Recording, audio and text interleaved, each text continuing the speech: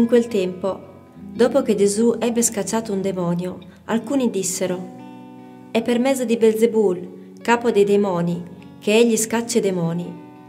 Altri poi, per metterlo alla prova, gli domandavano un segno dal cielo.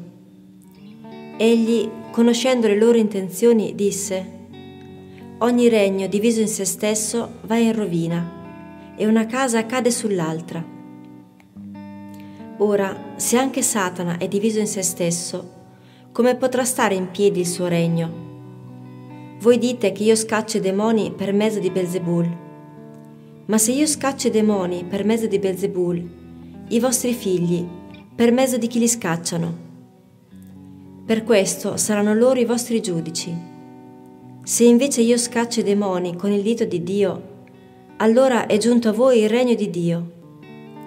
Quando un uomo forte, ben armato, fa la guardia al suo palazzo, ciò che possiede è al sicuro.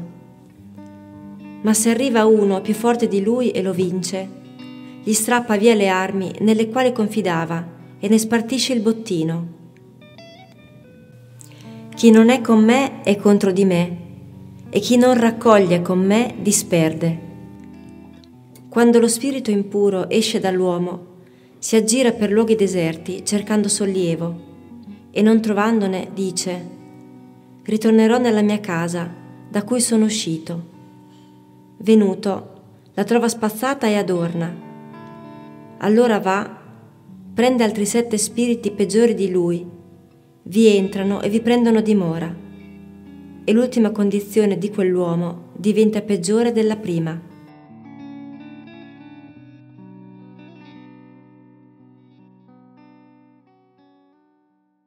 Il termine diavolo viene da diaballo, cioè dividere, l'esatto contrario di simbolo, cioè sumballo, cioè mettere insieme. L'arte del demonio è quella di gettar zizzania per uno scopo preciso, portare appunto la divisione. Il diavolo, lo sappiamo, vive una frustrazione immensa, quella di non poter più partecipare dell'essenza di Dio. Per questo non gli rimane che scimmiottarlo. Lui sa che la forza di Dio è la comunione e la forza della Chiesa è l'Eucarestia. Così da una parte regge il suo regno con l'unità, proprio come dice Gesù nel Vangelo, dall'altra tenta il colpo gobbo nel dividere la Chiesa, la sposa di Cristo ma non gli riesce né l'uno né l'altro. La sua unità non regge perché non è costruita sull'amore come quella di Dio, ma sulla paura, come un regime dittatoriale. E non gli riesce neppure di dividere la Chiesa perché è sorretta dallo Spirito Santo. Ma comunque dobbiamo vigilare, come ci ripete Papa Francesco.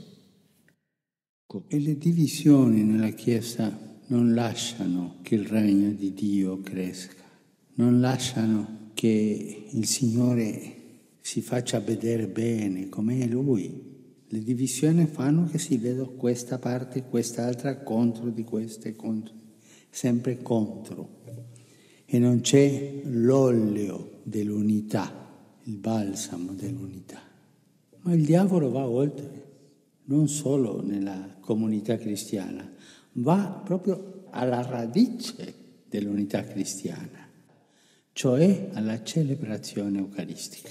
Io vi chiedo di fare tutto il possibile per non distruggere la Chiesa con le divisioni, siano ideologiche, siano di cupidigia, di ambizione, siano di gelosie e soprattutto di pregare e custodire la fonte, la radice propria dell'unità della Chiesa che è il corpo di Cristo, che noi tutti i giorni celebriamo il suo sacrificio nell'Eucaristia.